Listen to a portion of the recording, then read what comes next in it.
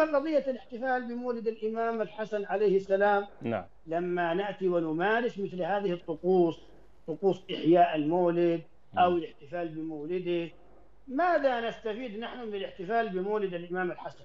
طيب. وما هي الحسنة التي سنجنيها من هذا الاحتفال؟ مم. وهل هذا الاحتفال سيقربنا إلى الله عز وجل أو سيزيد في حسناتنا؟ لا المتأمل أن أغلب هذه الاحتفالات بهذا المولد. إنما يحصل فيها أشياء بعيدة كل البعد عن منهج الله ومنهج رسوله صلى الله عليه وسلم ناهيك عما يحصل فيها من البدع والمحدثات التي ما أنزل الله عز وجل بها من سلطان. ألم يكن رسول الله صلى الله عليه وآله يتخول الناس في الموعظة؟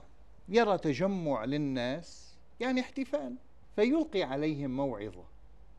يرى مجموعة موجودين في مكان فيلقي عليهم موعظة. فإذا حب الناس أن يجتمعوا احتفالا بعيد وطني مسموح وبحب رسول الله ممنوع إذا أرادوا أن يجتمعوا فلتكن أنت أيها الذي تحمل رسالة الإسلام كن موجودا وقل قال الله تعالى قال رسول الله صلى الله عليه وآله وسلم. اقرأ عليهم شيئا من القرآن علمهم شيئا من حديث رسول الله عليه الصلاة والسلام. أما أن تكفرهم لدرجة أن أحدهم يقول إن الأرض التي يقام عليها الاحتفال تنجست ويجب أن تطهر وكيف تطهيرها؟ بأن تحفر زراعا هاشميا. وحتى يطهر المكان. هذه الإسقاطات البعيدة عن العقل البعيدة عن النص.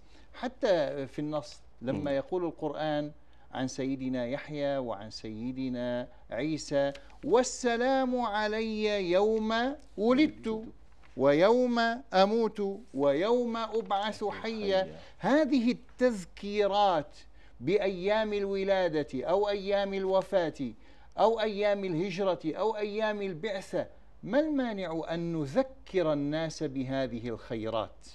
الرسول صلى الله عليه وآله وسلم لما سئل عن صوم يوم الاثنين وعن صوم يوم الخميس لماذا قال عن صوم يوم الاثنين؟ ذاك يوم ولدت فيه. فهو يحق له أن يحتفل بعبادة اسمها الصيام في يوم مولده ولا يحق لنا أن نحتفل بقراءة القرآن في يوم مولده أو ذكر يعني مناقبه وخصاله وشمائله.